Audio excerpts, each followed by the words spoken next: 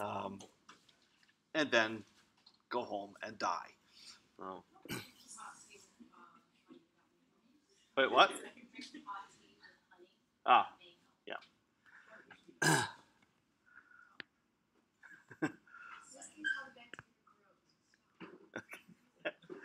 Uh, well, for now, I'm I'm relying on DayQuil to get me through a day at least. But yeah, I may well do that tonight. Um, okay. But yeah, I probably rather unusual opening for anyone who wasn't in class and then watches this video. Um, okay, let's get the diary going too. Um, okay. Um, before we talk about homework two, I want to uh, take a little time about uh, a few problems from homework one, uh, just as a post mortem, if you will. Um, uh, based on um, you know having graded about 16 of these and seeing what problems uh, seem to cause the, the, the most trouble. Um, okay. Obviously, the very last one, day of week, is one of those. Um, but there might be some surprises among among the rest. Um, so, just a few comments about about these, and then we'll uh, move on from there. Okay.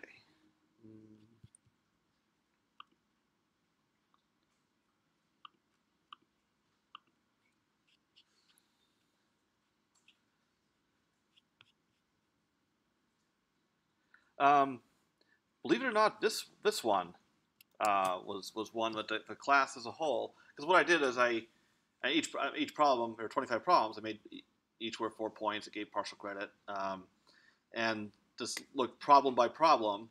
Uh, I had Excel tell me uh, which uh, what what the class average on each problem was, uh, just so I could pinpoint difficulties. And yeah, this one number three, um, the class as a whole did not score as well. It seemed to be largely a matter of uh, well, not following the directions. Um, so. Um, uh, because uh, in problem one, one of the tasks up here was uh, computing the roots. Use a quadratic formula typed at the MATLAB prompt. That is not the same as typing in a command to use the roots function. The, point of this problem was to actually uh, type in the expression for the quadratic formula, uh, like using the square root function, using a basic arithmetic operations, that sort of thing. Um, so and by saying, as in exploration 121, do the same thing here to get these roots, which will turn out to be complex. Um, and then the other thing that a number of people missed, then substitute them into the equation to verify the correctness. So in other words, uh, you have you know, your A, B, and C, 1, 4, and 9. So if you have your roots, you call them uh, x1 and x2, for instance. So you would actually type in a prompt, x1 squared plus 4x1 plus 9 to show that, to confirm that you really do get uh, 0. Um, it's a way of also confirming that you typed in the quadratic formula uh, properly. So, um, and I, I, I phrase the problems this way to um, because there's certain uh, tasks I'm looking for you to, to perform. So when you take these shortcuts, that kind of undermines that. Uh, if there's ever problems in this set where you're expected to use the polynomial functions uh, to help you out, um, so there's there's a place for everything. Um, so um, so, so uh, uh, above average number of uh, points were, were lost on uh, uh, this one. So um, if you're not sure what the problem's saying, you know, if, if, I'm not clear enough, you know, that does happen. You know, check with me to, to make sure. Um, and then I would, uh, if if that's an issue, then I would update this here so um, everybody else can benefit. Um, okay, this one, um, where the uh, rand function gives you random numbers uh, distributed between 0 and 1, and the problem asks for um, numbers distributed between minus 1 and 1. A lot of answers um, still give numbers that are distributed in either 0, 1, or just negating them to get um, numbers between minus 1 and 0. That's, that's not quite what I was looking for. Uh, like what I wanted was a matrix where numbers were just as likely to fall anywhere within the interval uh, minus one to one, and this involves um, like uh, taking the interval uh, 0, 1 that uh, Rand uses for dis- distribution and scaling and shifting uh, that interval. Uh, and that and for that, you have to take into account what are the widths of the, you know, the interval that you have and the interval that you want. Um, so that's the scaling part. And then, um, and then taking interval and adding or subtracting some value to it to move it to the right or left. Um, so uh, these kind of uh, linear transformations, scaling, shifting, um, are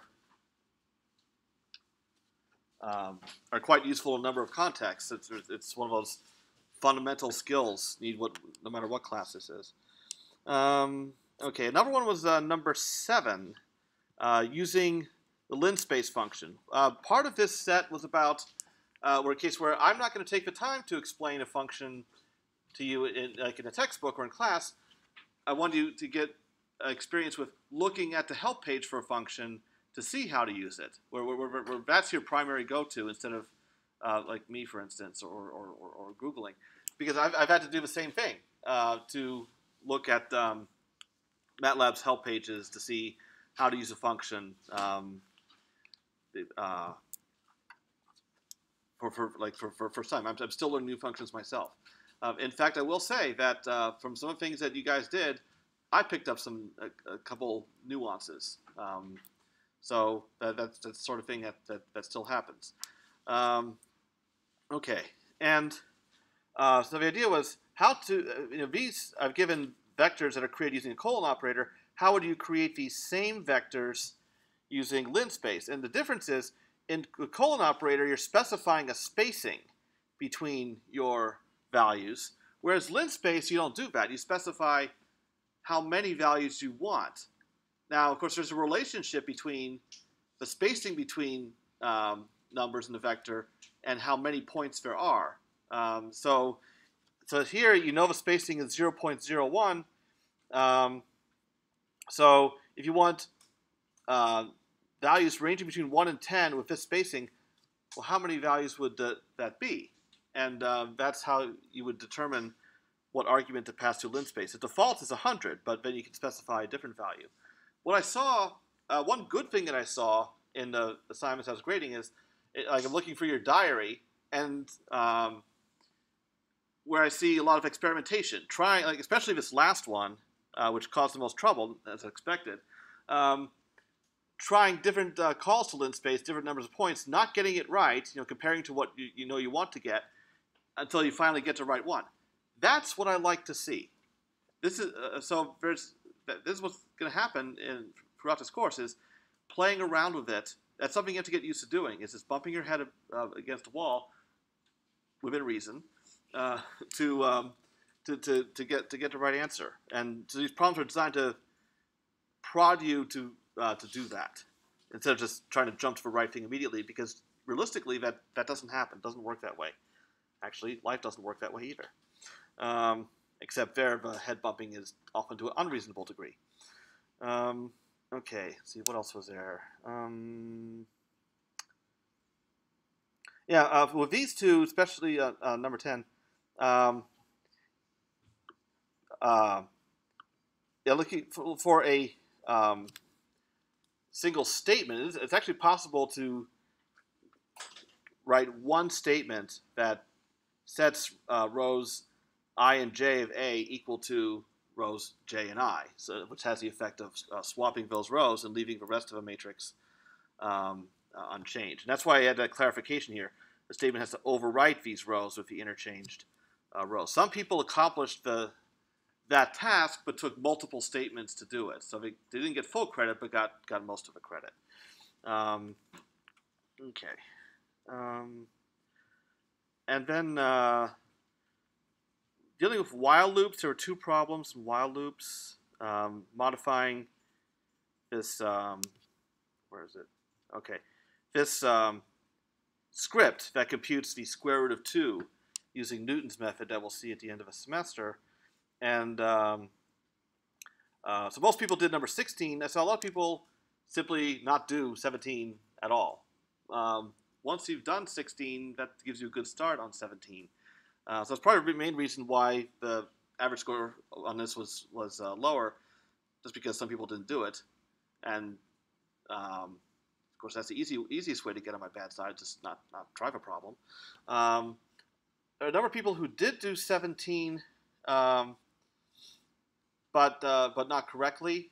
Um, they had the wrong they, because um, you have to have an and instead of an or um, to, to get that right because you have two conditions. Um, if the uh, as long as you're not converged um, and the number of iterations is less than 10, the loop keeps going. As soon as one of those conditions becomes false, that's when the loop stops. If you have an or instead of an and, um, then that what, what can happen is the iteration may converge, and then the iteration converges, but keeps going up to 10 steps. You don't want that. You want to stop as soon as possible. Um, that's why I said use an and, not an or. Um, as far as uh, the last one, uh, number 25, um, yes, this one was definitely meant to be a pain in the butt. Um, so um, I um, actually had some misgivings about including it um, after after getting it to work myself. Um, I thought, well, they're not going to have an easy time with it, but I figured, well, it's just one problem out of 25, and you know, someone if someone tries it and does not get it done, but they could still do very well. Um, but if someone does get it done, and a few of you did, um, then uh, definitely uh, something to be proud of. So, um, and what I what I did, uh, since you know, you're sending me your code, so I just go ahead and save that, and then I, I just went ahead and ran it, uh, and I entered in some dates and um, you know check against the calendar, uh, uh, like my, my iPhone calendar, and making sure that you got the right day of the week. Um, and uh, some cases there were errors in the code, like I get an error message every times it produced a day of a week, but it wasn't the right one. Um, so, um, but yeah, I, I, had a feeling that you know not too many people would uh, get this one in, in full, but figure um, wanted to throw in a, a, little extra challenge for you guys.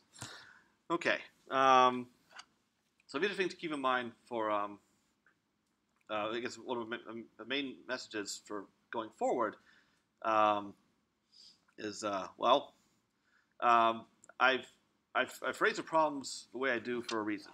Um, and the, those little details are important. If you overlook those, then you're setting yourself up to uh, lose points. And, and um, the, problems themselves are going to be challenging enough without those kind of, shall we say, um, uh, unforced errors.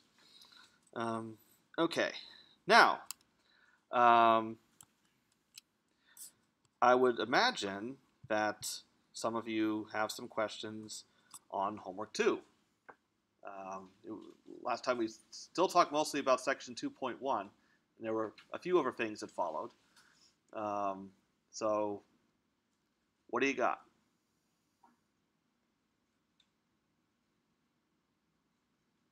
I'm not feeling terribly crappy right now, so I can handle some questions.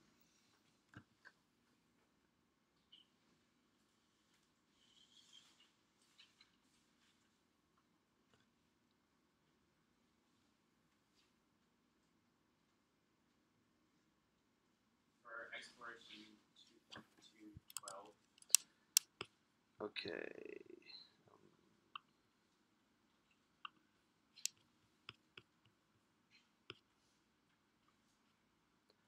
Oh, yes, this one.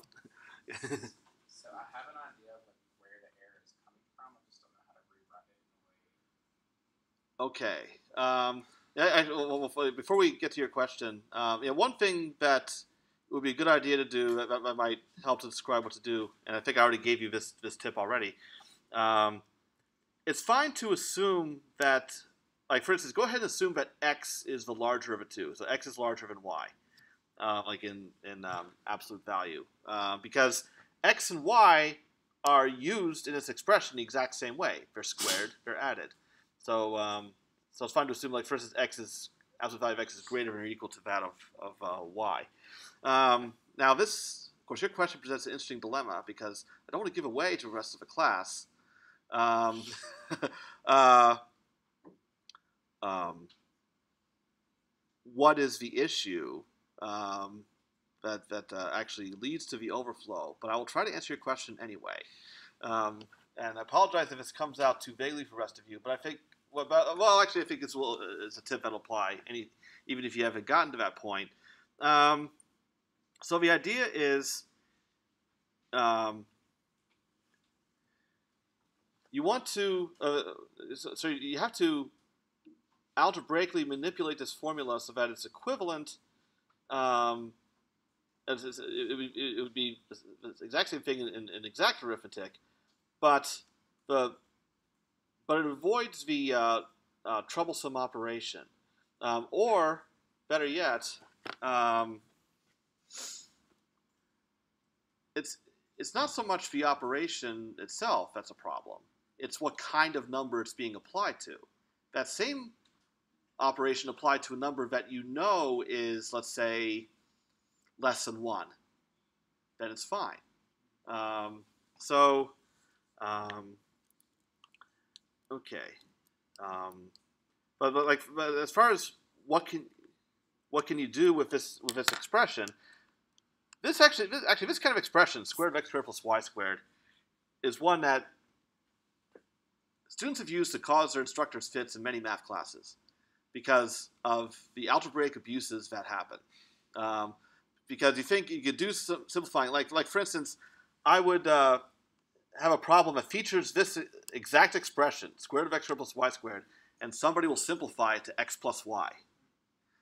Now, um, if it was square root of x squared times y squared, that would be correct, but not when you're adding.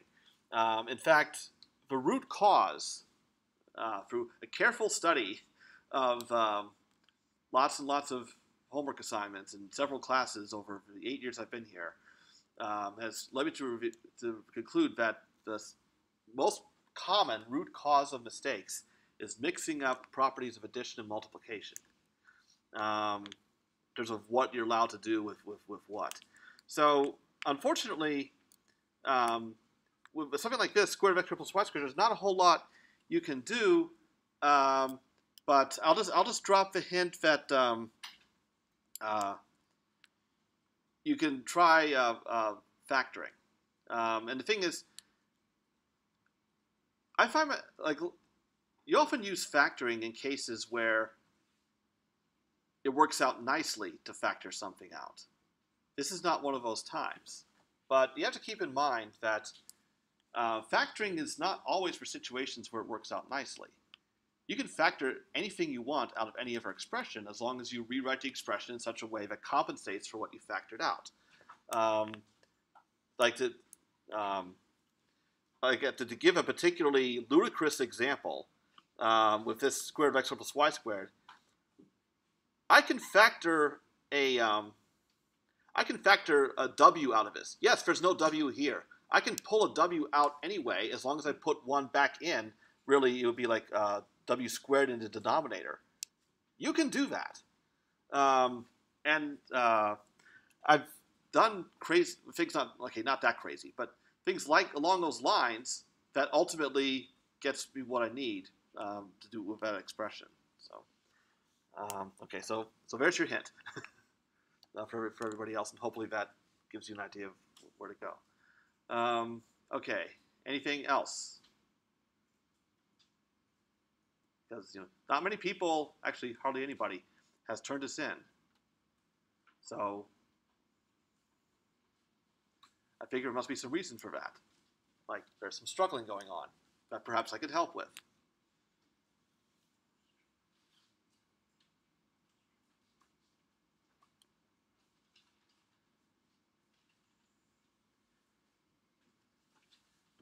And no questions are being asked because I want an answer. I want an actual answer.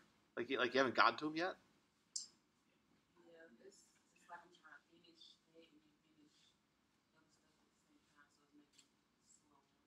Okay. Well, um, because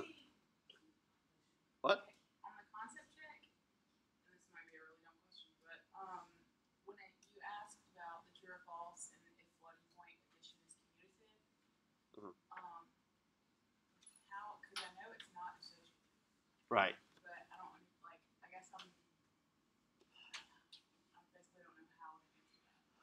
Okay. Um.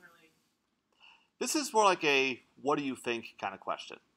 Uh, based on what, like for instance, if you understand why it would not be associative, what would cause that to fail, um, and also why, what, why other operations have difficulties, like subtraction, for instance. Do you think that same uh, reasoning would apply to addition, to just plain old addition, and therefore threatening commutativity as well? Um, I mean, to be to, um, for this to be completely conclusive um, would call for like things that are well beyond the scope of this course, really. Um, but um, so so really, I, I- guess I could say that um, uh,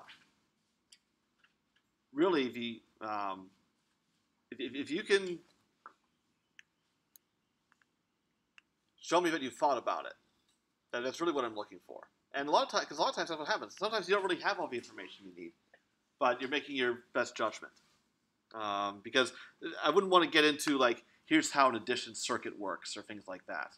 We're, we're, we're not doing that here because that'll make even me cry. But so, um, but based on what you've seen happen in other operations, does, does is that an issue here too?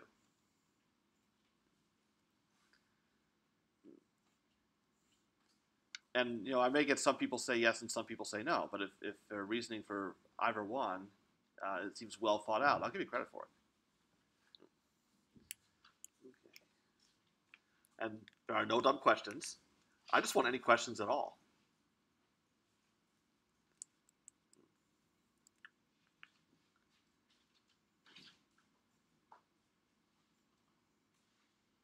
Nothing? Really? Once you get around to this, you're just going to sail through it and get it in?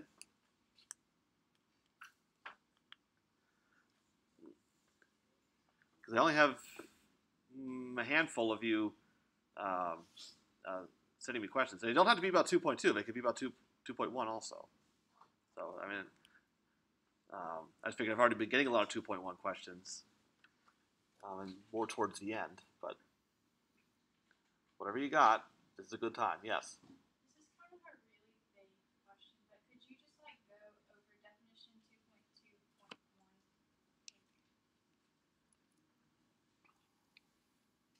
I guess with more like regular words and not like mathematical.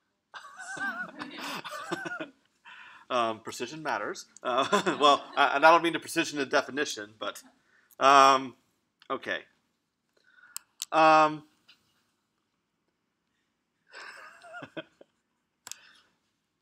I'm reminded of when, during my first semester here, a student told me that I sounded like a math dictionary. Um, so.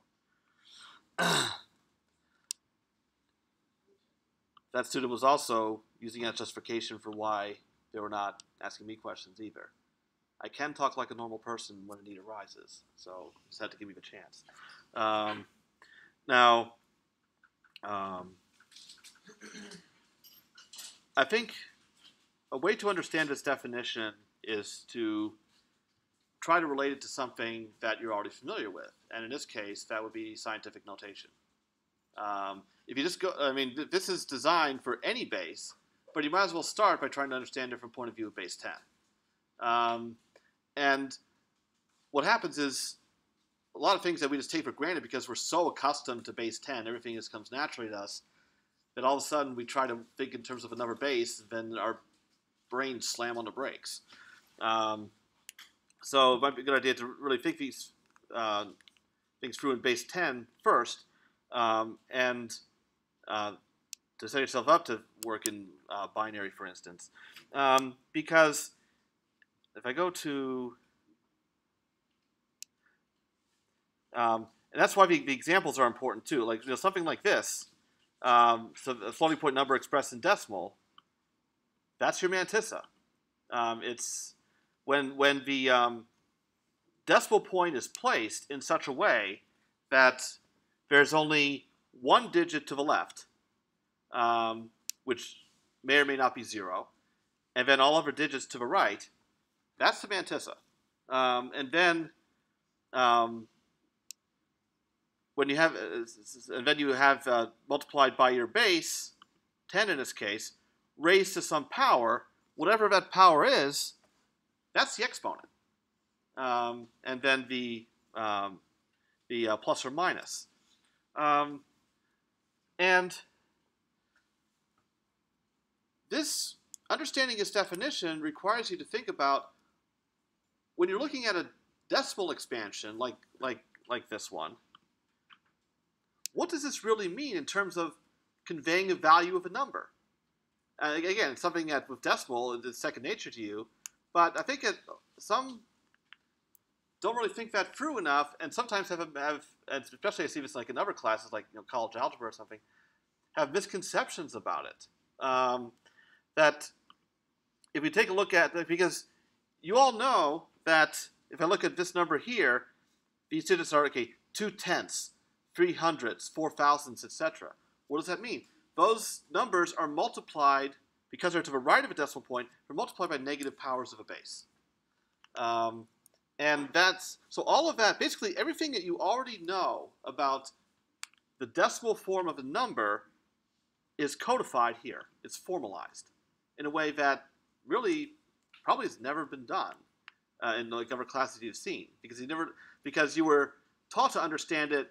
Um, okay, I guess using the simpler words that you're looking for, um, but because you know that it's at an early grade and um, there's really no other way. Um, so, um, and in fact, that would be a good exercise. And that is, if you have, if you just write down any number in scientific notation and try to pick it apart. What are uh, well? I mean, I'll, I'll show you. I'll do it for you now here. Um, that uh, that that these digits in its decimal expansion, the one here is that's your D zero, and then two, three, four would be the D one, D two, D three, up to the nine is the D eight, because it's multiplied by ten to the minus eight um, in this uh, this decimal expansion. Um, and by um, uh, by viewing a number, a, a, let's see, decimal number in that way, that paves the way towards being able to work with numbers that are expressed in, in a different base, because now it's just multiplied by negative powers of whatever that other base um, is. Um, like take this number right here, that's in binary as um, okay, so two to the six times one plus one times one half, uh, and then plus one times um, one over two squared, or one fourth, and so on. But then the, the eighth digit is skipped. This is the sixteenth digit. Thirty second is skipped. This is the sixty fourth, and so on. Um, it it helps. I wouldn't say it's required by any means, but helps to eventually become familiar with certain powers of two up to a certain point. Um, so. Um, this might be the computer science background in me, but uh, so because I can rattle off powers of two up up, up to uh, two to the sixteenth pretty quickly, um, but um, uh, but that's something I would just like happen over time. I'm not sure if I'm answering your question. Um, be honest. I mean, uh, okay.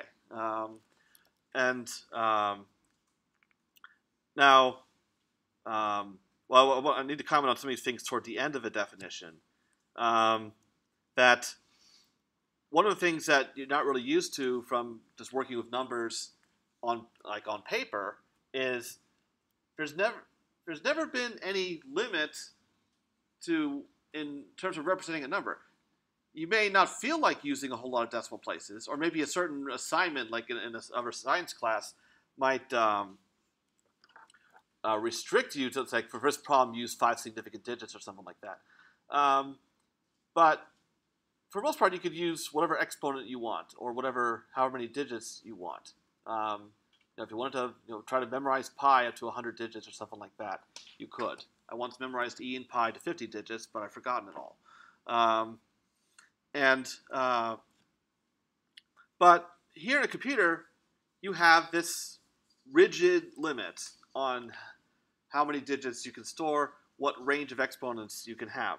Um, so Um, so yeah, really, you could think of these digits in the mantissa as your significant digits, especially if a number is normalized. In other words, the leading digit has to be non-zero. Then they fit that definition um, exactly.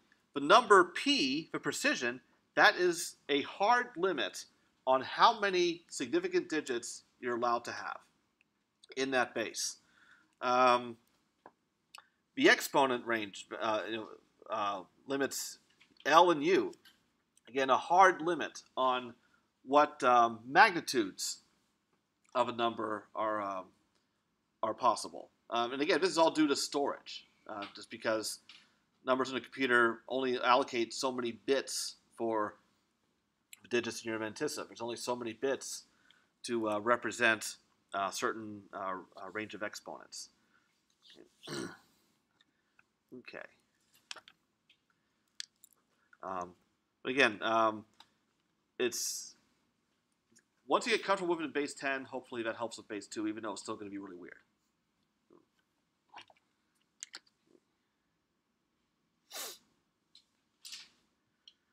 And um, unfortunately, with when it comes to definitions,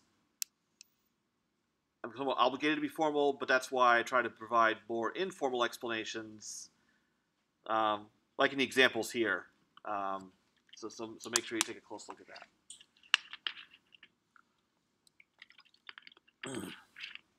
okay. Anything else? We got time.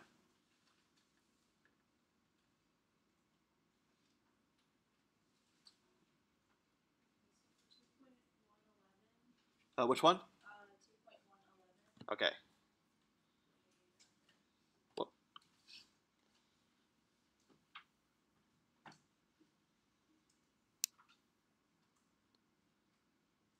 Yeah.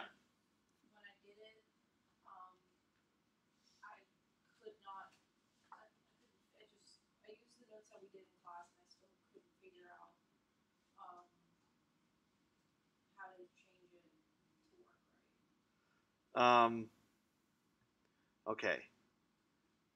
Define working right. I, I, I mean, I, I guess. I guess I'm just not understanding, like, what it wants us to guess. Okay. Um, well, really, um, just the, the equivalent of of this, but instead of dealing with with f, um, you're dealing with f inverse. So you just plug like, so like we're given f of x is equal to c. So if given that equation, the bottom would be c, the top would be x, and then you have Um. Well, um, but the, the thing is, no, it, it's the, the, key, the key is this is what I talked about uh, when it's brought up last time. What roles each of these things play? X is the input, and that is C. Um, the um, the out, f of x that's the output, and that would be x, which happens to be f inverse of C. Um, and then uh, taking care of a derivative up here. How would you find the derivative of the output? How would, so Um, we know that the derivative of the output is what has to go on top. So Um, and since the output is given by f inverse of c, that's where I use the differentiation rule from last time. Yeah. you just do differentiation of f inverse of c. Right. The- Okay. um, and actually, if I go back to the question, okay. Um, yeah, what I didn't include in the, the question, although in retrospect I should have, is um, once you have that expression, then, um, and this is going to be relevant when we get to solving nonlinear equations at the uh, end of a semester, um, under what circumstance could that um, uh, condition, relative condition number be very large or even go off to infinity? Because that, that's something that's going to present a significant problem for us when we go to actually compute these things. Um, and that's why these condition numbers of interest are of interest because if it can get large, then um, we have to find a way to do something about that. if we can, which is not always possible, unfortunately. Okay. Anything more?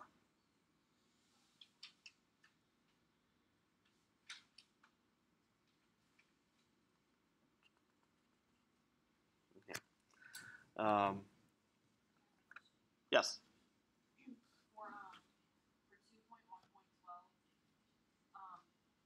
point sixteen. Yeah. Why does the third expansion have that weird sigma H on it? Oh, uh, ex- see. First and second expansions don't. Oh, um, okay. For that, we go look at Taylor's theorem itself. Okay. Um, yeah, uh, so what we have here is, um, yeah, so the in a Taylor polynomial, um, like that you're carrying out as far as you need to for a problem, notice all the derivatives are evaluated exactly at x naught. Only the remainder is is different. Um, and normally I just write this unknown point just as xc. The only reason I write it as xc of x here is that its value, mystery vote is, happens to depend on x. Um, so going back to this example,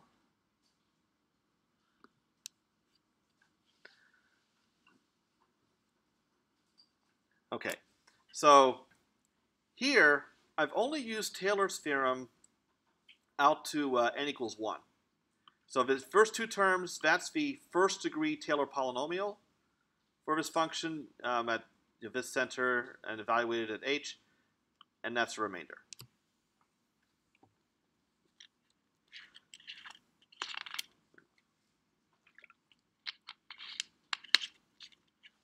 How, okay. So when you went from where it says because the absolute value of cosine x is less than or equal to one, Mhm. how did you get from the step above that to the step below? Okay, from here to here? Okay. Um, all right. Um, all I did was um, it because what? Uh, yes. Uh, because and the reason for that is um, when we're looking at convergence, we're looking at um, what it is that's converging minus whatever we're converging to, um, and then we examine that to see what is its rate of convergence. Um, and then, so, so- okay, so we want to see how big it could get, but since this is equal to this, now it's how big can this get? So that one came from alpha H, or uh, from alpha. Uh, yeah, that, that, yeah, the- it's it's the limit you're converging to. Yeah, it comes from this. Um, That is alpha. yes, it is. Yeah, so it, um, and that's what happens in all of these, it, whether it's dealing with um, you know case of a sequence where n's going to infinity, or a case of a function f of h that's going to zero. Um, we're looking at what it is we're trying to get to converge minus what it's converging to. And then um, Taylor series just help us get a hand, get an alternative expression for that, um, or that's what I needed to do in, in this example. Um, which, as we've seen in, the, in these other examples, it's not always necessary, but it was necessary this time, um, and also necessary in this problem right here. Um, yeah, so that's what you're going to do. You're going to look at this minus that, use a Taylor exp- uh, expansion of e to the h to condense that into something so that you can see how, how big it is. I'm not sure if that answers your question. Okay. Um, um, and because this was cosine, um, that that helped to um, get a handle on how, how big this could get.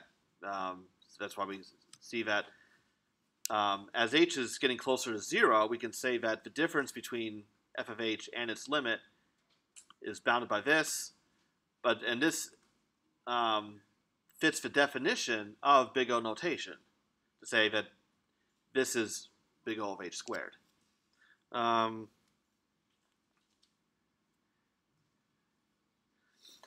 and when we're dealing with h going to zero, we really only care about when um, h is small.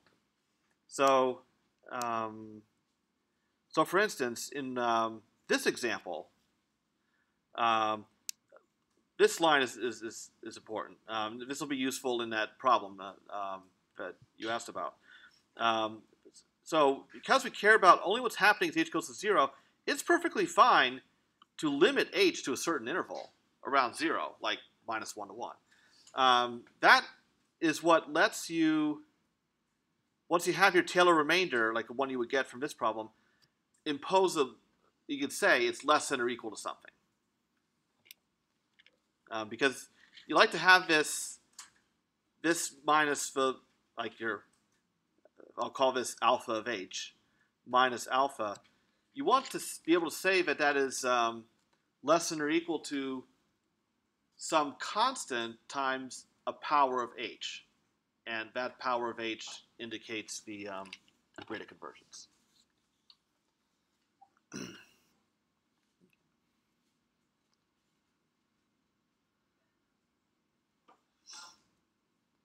All right. Got any more?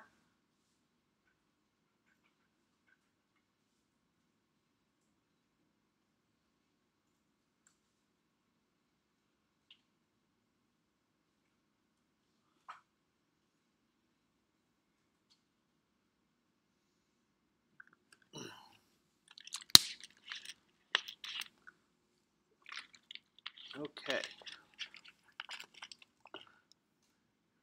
All right, but what that means is, you know, if you're um, working on this, uh, um, working on this later, and you are banging your head against a wall, I want to hear from you. okay. Um, now, um,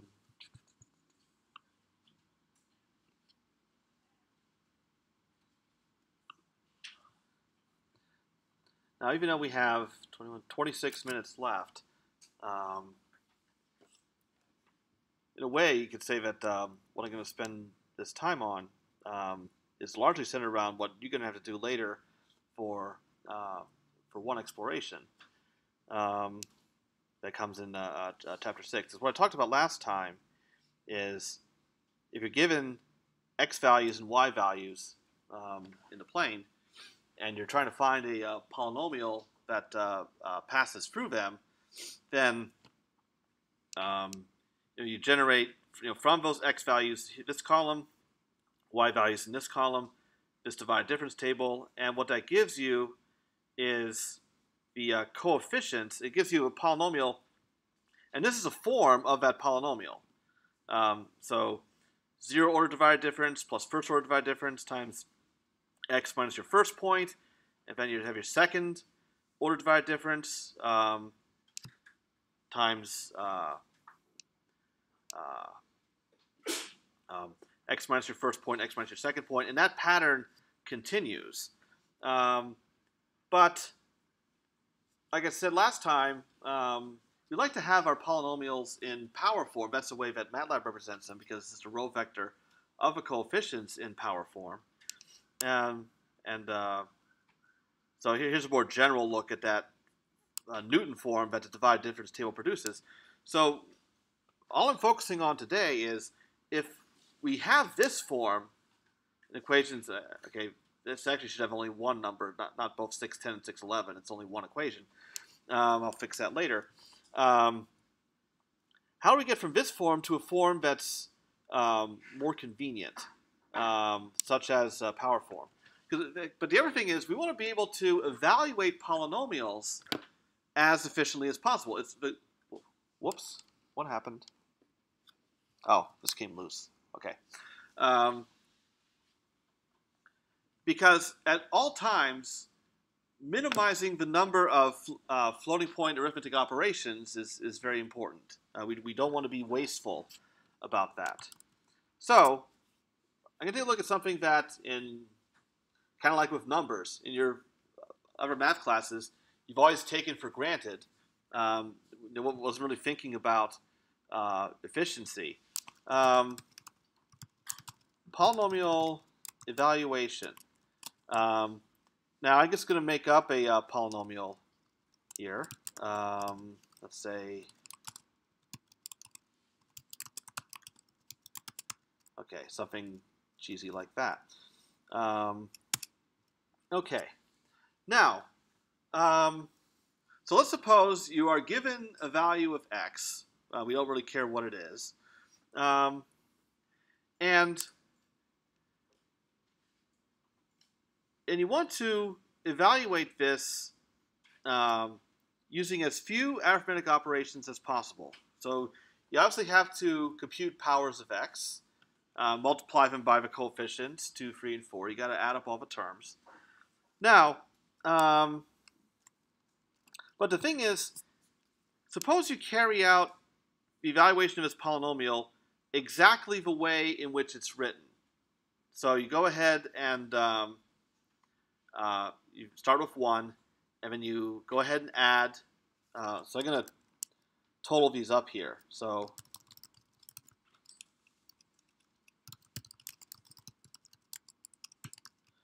okay. Um, so so so at first, start with 1. There's no operations needed for that, so we haven't really performed any arithmetic operations just yet. Uh, so then you have a uh, multiply. You have um, uh, 2 times x, and then you add, so then you have 1 plus 2x. Um, so we've gotten out to here so far with uh, two operations. Um, and then you have, um, now, if, so if we go ahead and compute x squared, um, so multiplication for that, and then multiplication again to get 3x squared, and now you add, so we have 1 plus 2x plus 3x squared. Um, so now, so far we've performed three multiplications, two additions, and then multiplication again, um, x, x squared, x cubed, that's two multiplications there. Um, another one to multiply by the coefficient, and then finally an addition to tack that on the end. So we have one, two, three, four, five, six multiplications and one, two, three additions. It makes sense that the uh, number of additions would be one less than the number of terms uh, that you have. But we were not, this is not efficient. Um, what's wasteful about this, what, what I just did?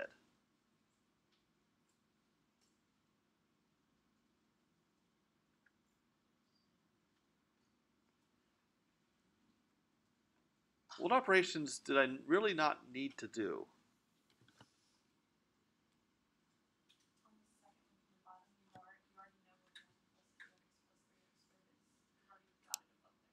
Oh yeah, but the thing is, to add this on, that only costs one more addition. Okay, so, so, so that in itself wasn't wasteful, but something else was.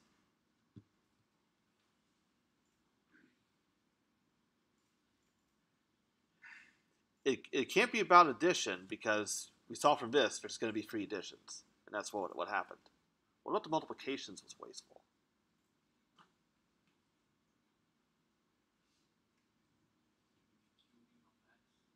Yeah, the cubing of x, because I have x squared here. I didn't need to go back and compute x cubed all over again. Um, so I should hold on to that power of x. Um, so, um, so, so that's one thing that you can do. So really, we have, um, starting with x, it takes two multiplications to handle all the exponentiations. And then there's three multiplications by coefficients. So that could save a multiplication. Um, so that's, that's, that's, that's one thing. But perhaps we can do even, even better, or we should try to anyway. Um, now, um, So let's take a look at can we um, rewrite this polynomial in a different form that would um, hopefully might be able to cut down on the number of multiplications we need. If you group your terms based off of how many x times you or how many times x is being multiplied by something like this. Um, all right. Um, well, how might we do that? Like, okay, I'll, I'm gonna I'm gonna leave this term here a one. Um, How x yeah, let's factor out an x. So we, we have two plus another 3x plus 4x squared. Okay. And yeah, so you can factor it out again if we just focus on these last two terms. All right, 2 plus x again, and then I have 3 plus 4x. Okay, so we still see three additions. How many multiplications are needed now?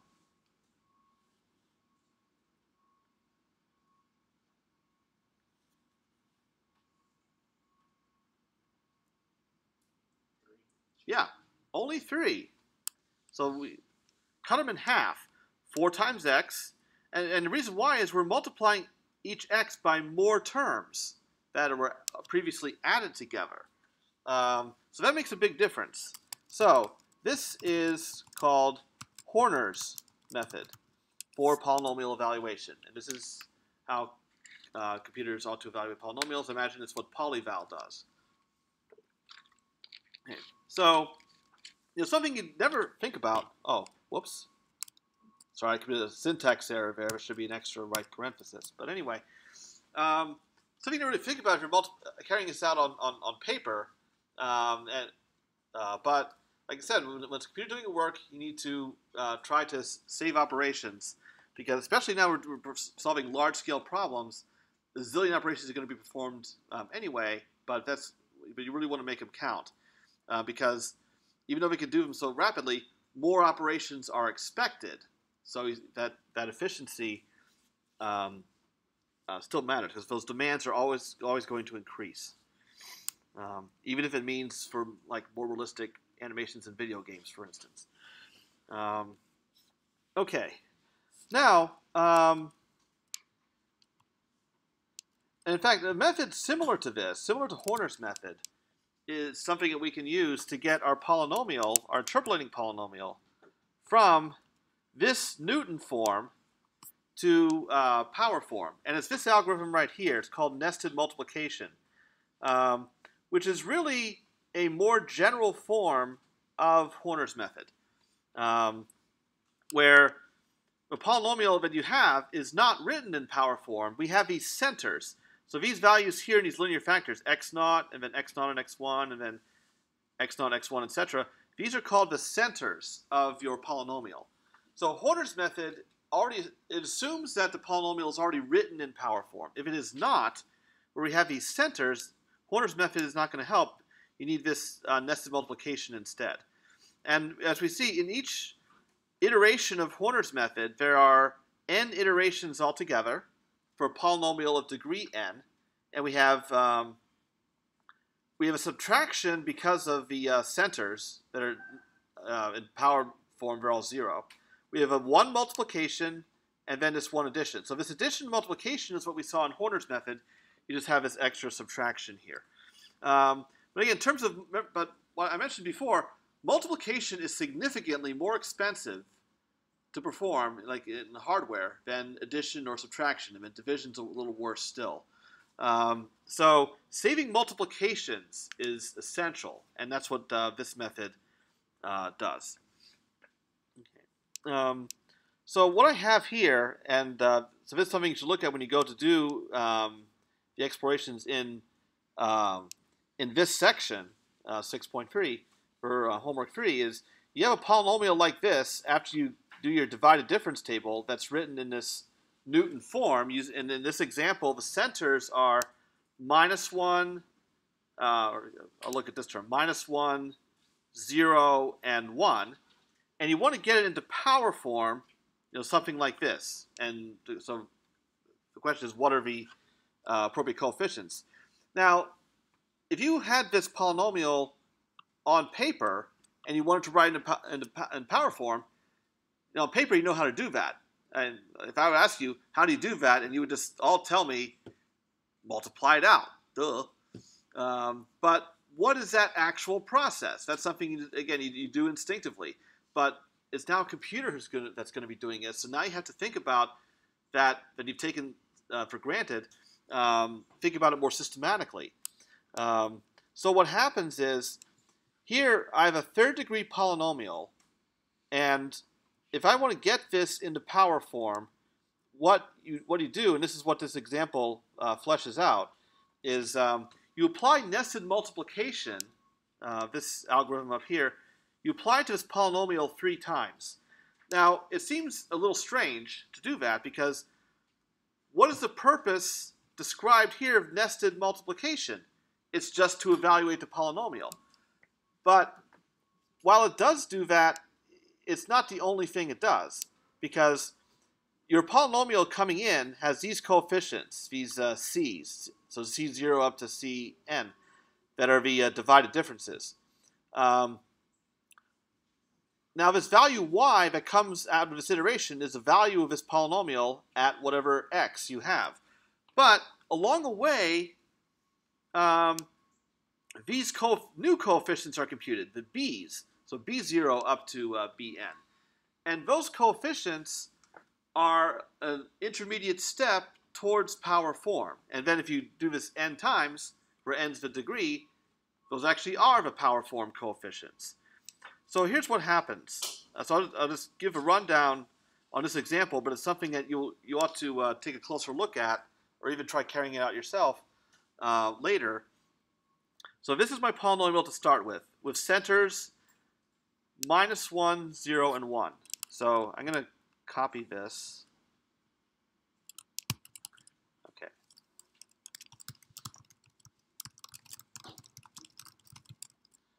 Okay. Oh, that did not go well. Um,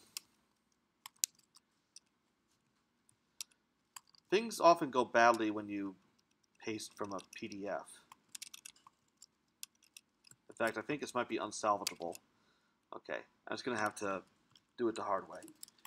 Um, I need to make this bigger anyway. Alright, so p of x is equal to 3 plus, not 3 minus 7, x 1, plus 8, x plus 1, and I'm going to make it a little clearer. The second center is 0, so I'm going to write it explicitly as x minus 0, just so you can see better.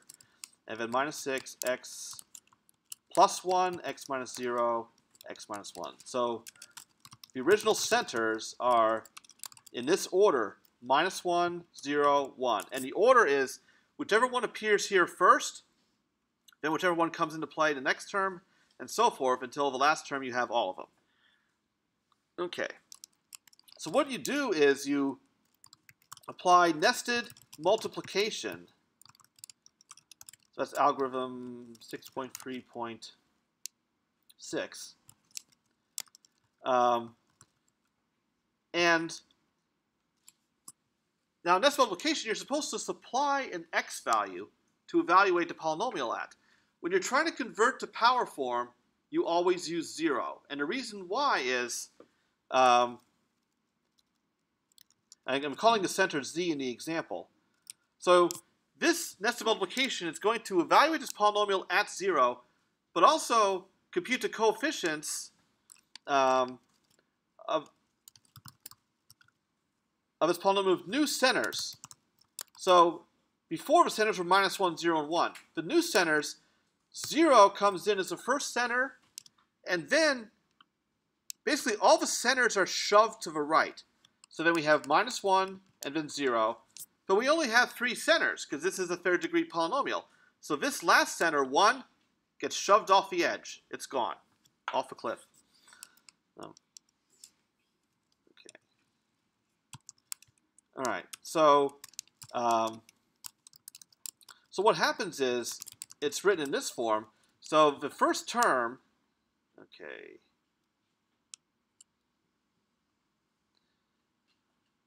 And the nested multiplication steps are described here. And this is what comes out. So minus 4 minus 7x plus 14 x minus 0 x plus 1 um, minus 6x squared I should say x minus 0 squared times x plus 1 okay. Um, so this term minus 4 that's the value of his polynomial at x equals 0 actually I need to to stick with my consistent formatting, I'm going to write it this way, x minus 0.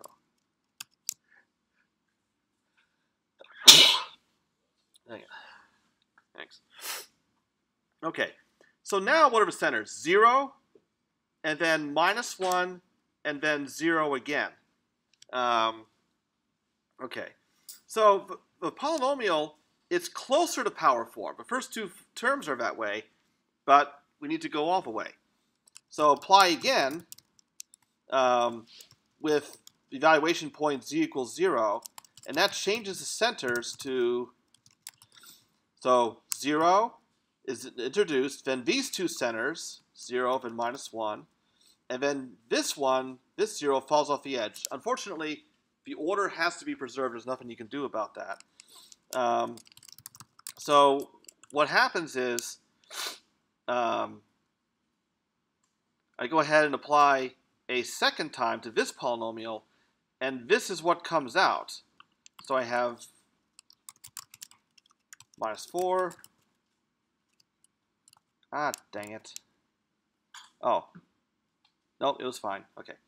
So strangely, the minus 7 here uh, flips and becomes a uh, plus 7. Um, 7x minus 0 plus 14, x minus 0 squared, minus 6, x minus 0 squared, x plus 1. Okay, and the reason for that is, notice the expansions look very similar. It's just that um, this term changed. Instead of being 14x minus 0, x plus 1, it's now 14x squared.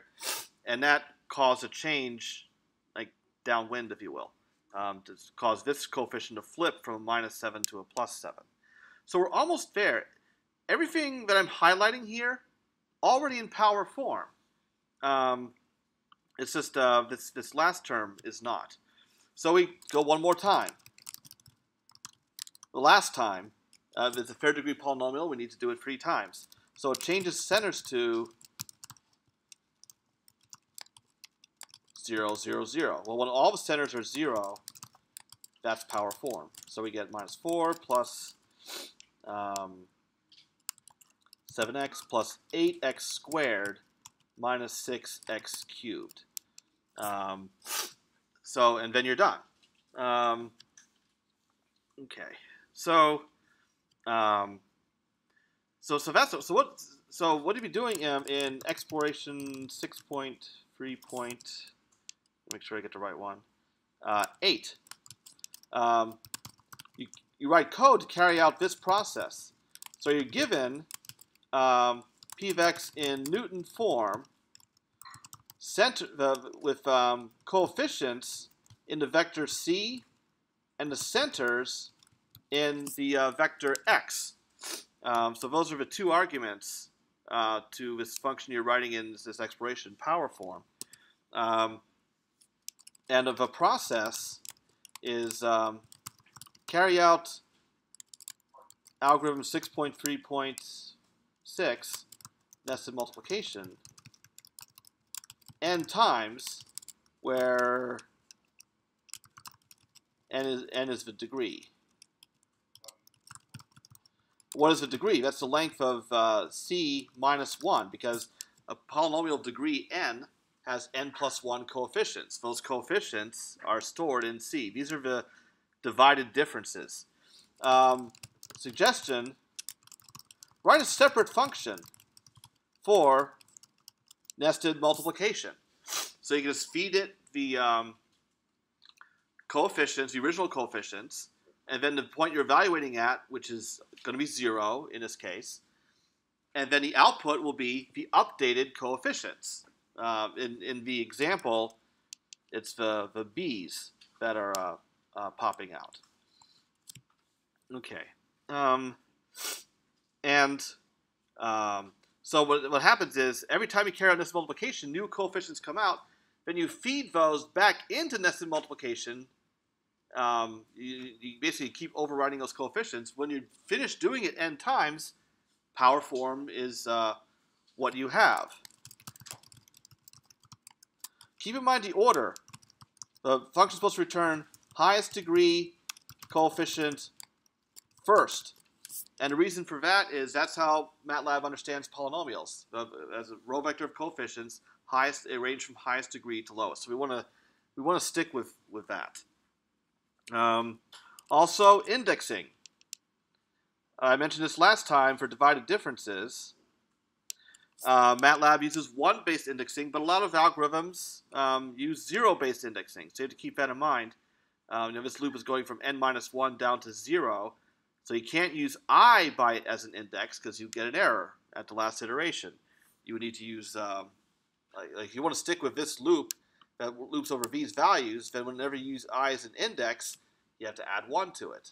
Um, and then uh, and then things will work out like you expect. Okay. Um, so that's another thing to uh, uh, to be wary of. Um, okay. Um, now I know you guys are all all mired in, in homework too, but unfortunately, I have to keep going, proof of material, so that when you get to this, hopefully before too long, um, you'll have this diary uh, to um, uh, to help you help you carry that out. Okay. Um, now, there's one comment that's made in the text. Okay. I know I'm almost out of time. Okay. Um, that um, actually the process of converting to power form that I described in the example a little bit inefficient because we don't have to apply all the iterations of nested multiplication. And this is discussed in further detail down here, right before this problem, uh, that you can actually stop nested multiplication early. In words, you, if you cut off the for loop early, um, then you'll still get the correct uh, result, but with um, uh, less work. Um, so, so that's something you can try to do based on what's the discussion given here um, as far as how many iterations you really need. And what you could do is go ahead and implement it inefficiently first, as described in the example, because at least you know that'll be correct, and then see if you can uh, figure out where to cut off that for loop, and I mean specifically this for loop in nested multiplication, make it stop a little sooner, um, and then still get the correct result. Uh, like you could try it out on a polynomial in this example, for instance. Um, and then you have a most efficient con- conversion possible to uh, to power form. So that's one of the essential ingredients in um, this exploration, where you end up developing your own polynomial interpolation routine. So while this exploration 639 does not require much work, it's really the work is really done in uh, 638 and 636. Um, it gives you experience in creating a more significant MATLAB program to perform a fundamental task, polynomial interpolation, using the most efficient methods um, available for this uh, general case. Okay, it's 5.05, so I'd stop. Um, so keep questions coming on homework two. Um, you know, and we don't have class again for five days, so I expect to hear from you in the meantime. Okay.